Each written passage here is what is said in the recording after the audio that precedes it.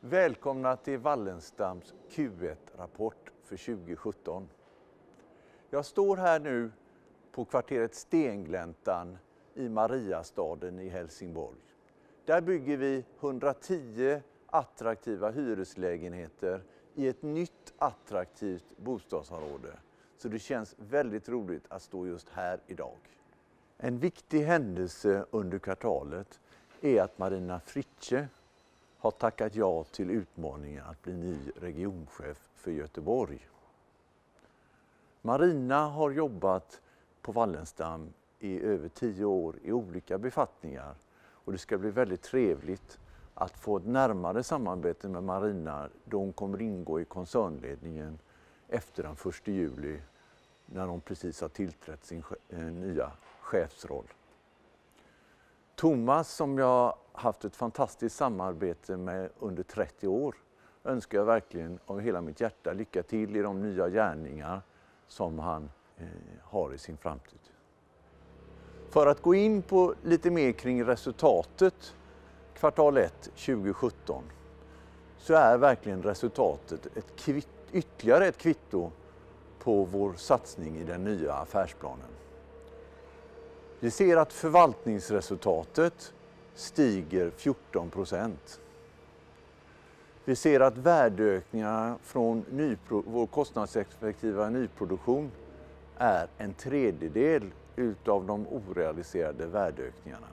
Två tredjedelar kommer från en effektiv förvaltning, alltså hög, högre hyror och lägre driftskostnader. Högre hyror tack vare att vi är duktiga på att omförhandla våra kommersiella kontrakt och att vi har gjort en hyresöverenskommelse med Göteborg efter nästan två år, vilket jag är väldigt glad för att den osäkerheten har eliminerats.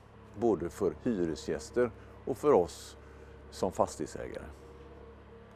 Våra investeringar har varit på drygt en halv miljard.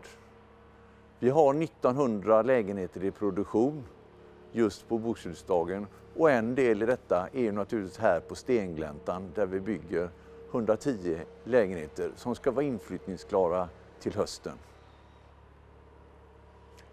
En annan stor händelse under kvartalet är att vi har verkställt en försäljning till Wilhelm enligt det kontraktet som vi har på drygt en halv miljard.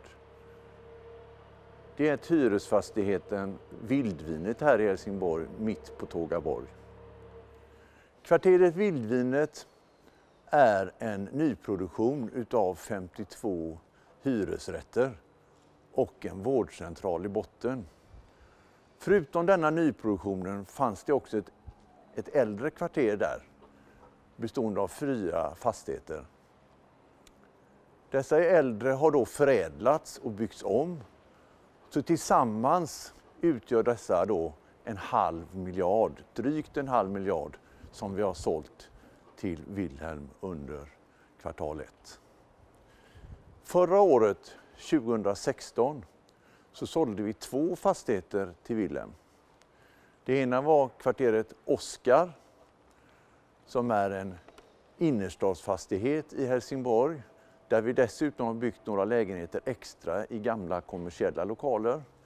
Denna fastighet kallas för övrigt Kafferepet för det är ett fint café i botten. Den andra fastigheten heter kvarteret Polib där vi också har byggt om kontor och andra kommersiella ytor till bostäder. Och när detta var klart så såldes den fastigheten till Willem under hösten. Denna fastigheten kallas för Kaffejöken. Således har vi alltså sålt då tre stycken stora kvarter till Wilhelm. Då återstår det två. Det är dels den här fastigheten, 110 hyresrätter och en stor ICA-butik i botten ska det bli här. Den kommer Wilhelm tillträda om cirka ja, kvartal ett nästa år. Sen återstår det då vårt bostadsprojekt i Pålsjö. Efter detta, de har tillträtt alla fastigheter, så har vi inga fastigheter kvar i Helsingborg. Vi har ju valt att ha vår bostadsprojektutveckling i de mest till, starkaste tillväxtregionerna. Stockholmsregionen, Göteborgsregionen och också Uppsala. Det är där vi kommer sätta in alla resurser på vår bostadsutveckling. Våra kommersiella fastigheter har vi ju som sagt i Göteborgs innerstad, vilket har visat sig vara väldigt framgångsrikt för trycket på lokaler i dessa regioner är väldigt starkt. Vi har ju valt läge, läge, läge för Wallenstams fastigheter oavsett om det är bostäder eller kommersiella lokaler. Med detta vill jag tacka för att du har lyssnat på Wallenstams kvartal 1-rapport. Tack så mycket.